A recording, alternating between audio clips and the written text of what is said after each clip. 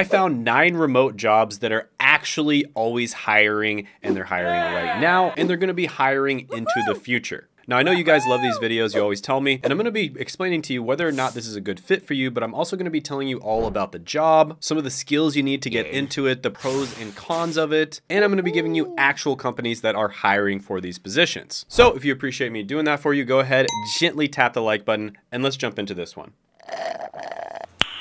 Nice. So first on the list is going to be a data annotator. And this is an especially hot position right now because of the onset of AI. And your job is to systematically tag or label data for AI models. And this enables them to process and interpret information similar to how a human would. And this data could be anything from text and documents, objects and images, sequences and videos, or snippets of audio files. And being a data annotator is kind of like being a behind the scenes director, guiding AI actors through their scripts to ensure they deliver Oscar-worthy performances. Here's somebody on Reddit who recently jumped on this trend and they said they were making 20 to $22 an hour and they've heard of others making $25 an hour. And overall, AI data annotators are making about 68 to $126,000 a year. And this is a relatively easy job to get into. Now, I'm friends with a lot of different business owners and just about everybody is integrating AI into their business. It's absolutely taking over. So getting into anything AI related related is going to be really good right now, and it's going to set you up for even better jobs in the future. Now, one company that's almost always hiring for this type of job is RWS, and they're focused on transforming content through translation, localization, and AI-enabled technology. And when you go to their career page, you can also check out their global opportunities. And there are other remote jobs there as well, but I want to focus this opportunity specifically for data annotator. So you go ahead, you search data annotator, and note that there are several different openings for this position in multiple languages. And they have an opening for US residents as well.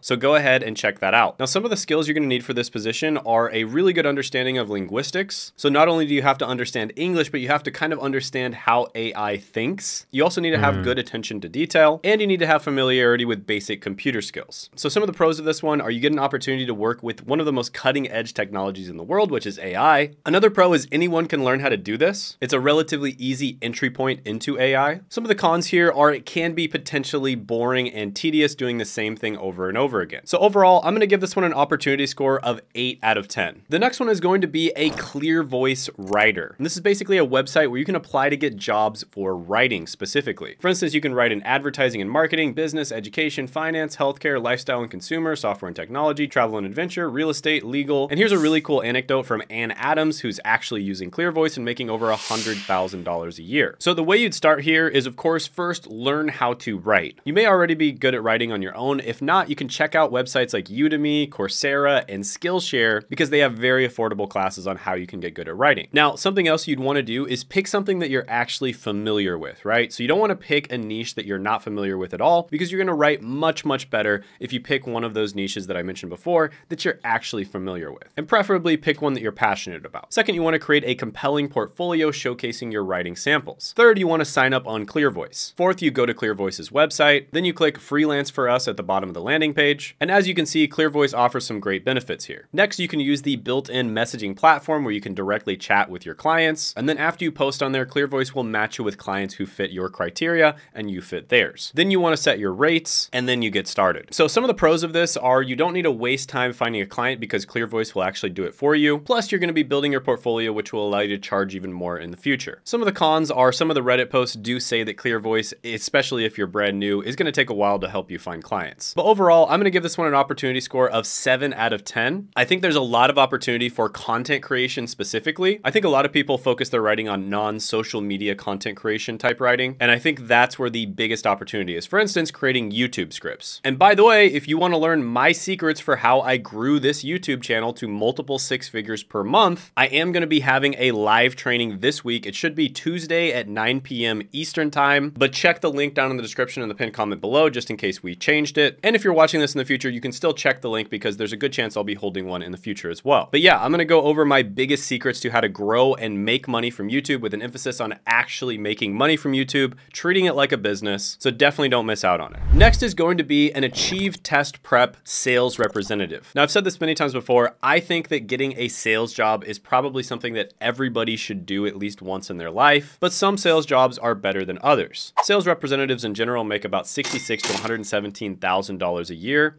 And the best thing is you do not need a college degree or previous experience. Now to start, you can either search Google Jobs for the term sales rep, or you can go to Achieve Test Prep. So we'll just use that as an example. Next step is you'd go to careers at the bottom, then you'd click view open positions, then you'd click sales rep job, read the qualifications and requirements, then you'd click apply now, then you'd fill in the necessary information, and that's basically how it's done. So some of the pros of this one are it's one of the most valuable skills you could possibly learn. You're also working for a big company that makes a lot of money. And the con of this one is that it is a high pressure type of situation. You either deliver or you don't get paid. Now, one of the more chill types of sales jobs is known as a BDR or business development representative. And this is where you basically go out and you sort of hunt for leads. And so you're not the one who actually has to close the lead, you just have to find them. And a really good industry to work in is the technology industry. And I've actually interviewed a bunch of people on this channel that have been able to get jobs as business development representatives or BDRs. And they all did it through the company Course Careers, which does have a free training, which you can check out down in the description and the pinned comment below. So yeah, I love sales jobs. I'm gonna give this one a 9 9 out of 10 opportunity score. Next is going to be a virtual receptionist for the company 24-7 VA. And it's a little bit of a weird spelling, so I'll put it up on the screen for you. And they hire for multiple different types of jobs, but I'm gonna focus on virtual receptionist for this video. And this is basically where you'd be handling calls from either customers or potential people that you're going to be doing business with. And virtual receptionists make about 34 to $48,000 a year. And the way you'd start this is you'd apply to a website such as Indeed, FlexJobs, or Virtual Vocations. For instance, you could apply to 24 24/7 VA. Then you'd go and complete the application and submit your resume. And then of course you'd optimize your portfolio and CV. You'd wait for their response and then just make sure you build up your communication skills, your professionalism, your ability to multitask, and make sure that you have proficiency in using phone systems and computer software. And these are all skills that are relatively easy to acquire. For 24/7 VA, for instance, you'd basically go to their website, you'd go to find remote jobs, then you'd click on open positions,